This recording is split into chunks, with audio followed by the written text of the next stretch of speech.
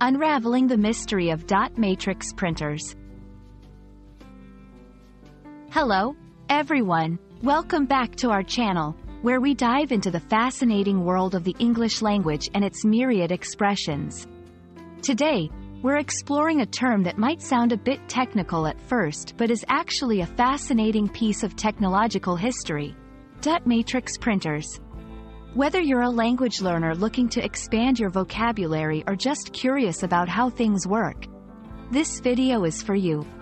Let's demystify this term together and understand why it was so important in the evolution of printing and computers.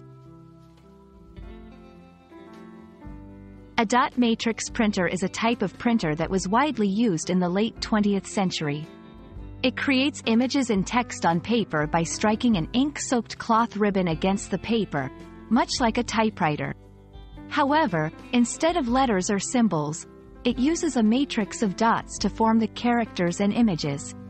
This method allows for various fonts and graphics to be printed with a single device, making it versatile for its time.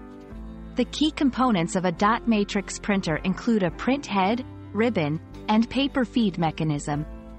The print head moves back and forth across the paper, printing by impact and creating each character from a series of dots. This process can be noisy but was revolutionary in providing a way to print different fonts and simple graphics before the advent of more advanced printers.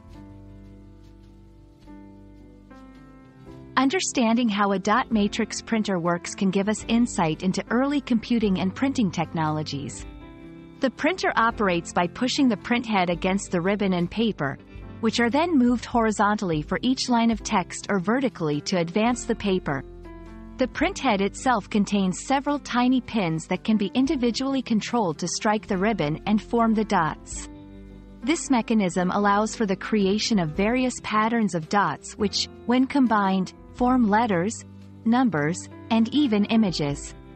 The beauty of this system lies in its simplicity and flexibility, capable of producing everything from office documents to elaborate greeting cards. While dot matrix printers may seem obsolete in the age of inkjet and laser printers, they hold a significant place in the history of technology.